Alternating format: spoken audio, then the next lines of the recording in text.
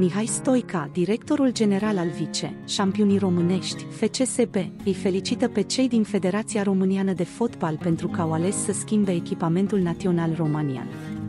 Oficialul roșu-albastru a luat în colimator echipamentul vechi purtat de jucătorii echipei naționale, numindu-i echipament de tip O. Înainte, doar problema scorului a fost ridicată. Mihai Stoica salută schimbarea echipamentelor de la Național. Am fost alb cu gălbenuș. Am scăpat de echipamentul vechi.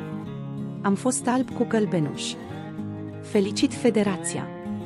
Echipamentele de OU nu a avut pe nimeni în istoria fotbalului alb cu gălbenuș. Acum suntem bine, între un galben complet, a spus Mihai Stoica, la Orange Sport. Așa arăta vechiul echipament național fotografiei Mago România are echipamente noi pentru preliminarii Euro 2024 potrivit federației. Tricourile te conțin o centură cu elemente emblematice pentru regiunile istorice din România, o referire la trecutul nostru comun. Un alt element distinctiv menționat este steagul tricolor, mânecile cămășii, pe jambiere și pantaloni scurți, dar și un mesaj războinic, ne luptăm împreună.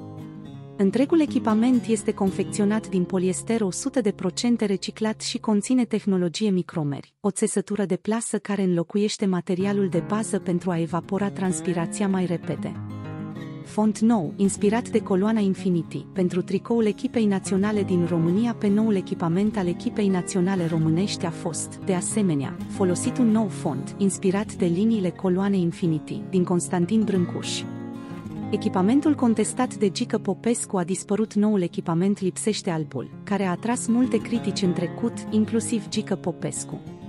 Echipamentul la care se referă Gică Popescu încercat să schimbați istoria naționalului. El a fost mereu un galben, a jucat mereu cu o culoare pe tricolor.